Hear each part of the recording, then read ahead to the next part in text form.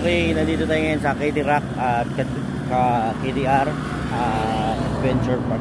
Dito kasi meron dito stopover ng mga kung gusto mag stopover no. Yan.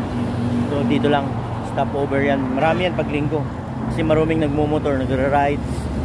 Uh, tawag dito. Marami yan. Kaya dito, meron mga ano sila, yan. Oh. Yun, pag stopover ka, merong kainan, meron dito sa KDR Kid Rock Adventure. Ngayon yan. Kung makikita nyo isa sa mga magaganda yung mga cottage nila o ano nila sa Tapubira no? may pagkainan makatambay ka dito dito. Pwede ka magkape-kape. Saka may mga ano sila dito tinda na pagkain. Yan. At dito dito ka order ka na ng kape. Yan. Yung mga kasama natin. Nag rides kami. Hindi ah, pala. Dito pala ito ito yan. Pag umorder ka ng kape. Yung mga magaganda yung ano nila cottage. Yun. Oo high tech pa yun. Ano pa yung ano nila oh? Yun oh. Yung ano nila tubig ano na tubig. Hugas ka. Yan pag order ka ng kape dito yun. Tsaka pagkain. Brewed coffee dito. Ay, vlogger nga pala. Yan. Yan. Yan, kape.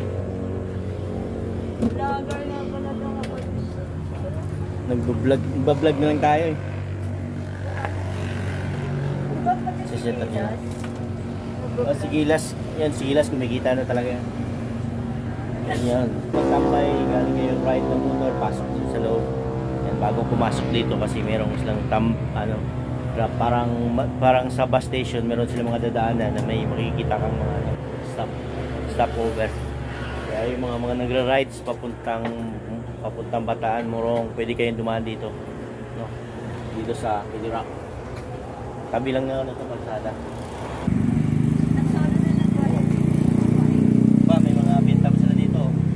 Tapos silog silog marami sa dito yan natabunan na pag magpunta kayo dito sa Available yung corn silog? punta kayo dito, kailangan nyo ng Corn silog? makapunta dito, makadaan. Kasi, pero pinakamasarap nila dito yung ano, yung shawarma. Pagka pumunta ng Iraq, kailangan nakasuot. Ano yung shawarma? Yung pinakamasarap na. Kaya yung daanan kasi ito yung uh, daanan niya.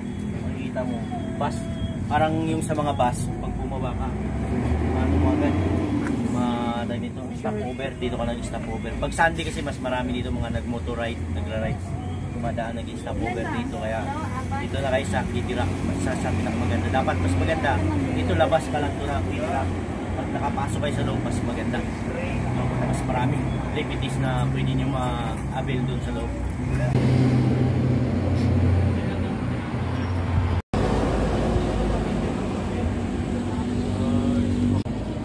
Sarap magkape dito sa may kubo.